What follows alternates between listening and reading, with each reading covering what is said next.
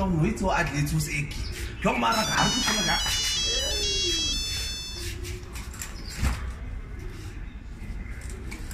Gert, Jackals. Ooh, ah, Ida. hey toch asseblief huis toe kom. Nee, ek kan nie nou huis toe kom nie. Weet jy wat het gebeur? Die dokter is besig om my te opereer. Ek is in die hospitaal. Die liewe sal gevind, jy word net vir 'n dag gevind en skiet weer weg.